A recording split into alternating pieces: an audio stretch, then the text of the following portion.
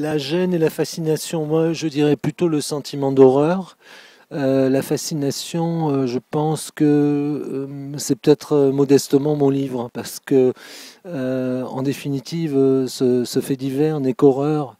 Et l'horreur n'a rien de fascinant. Je ne crois pas non plus que ce soit un livre qui joue sur le sentiment de voyeurisme.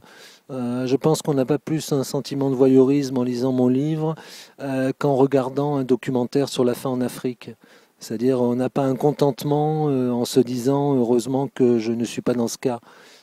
quand on a vu un documentaire sur la faim en Afrique, on ne se poste pas devant son frigo avec satisfaction.